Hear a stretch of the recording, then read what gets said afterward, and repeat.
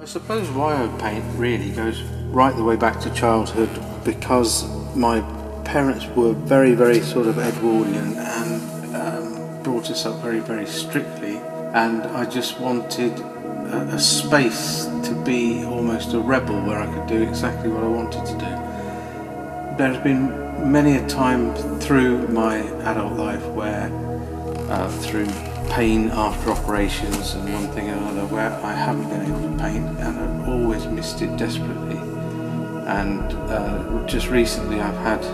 the terrible affliction of carpal tunnel in both hands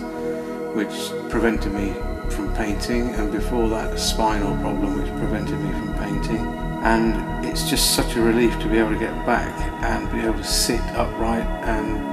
as you paint you just you literally do get lost and you lose track of time. It's the greatest creative release that I have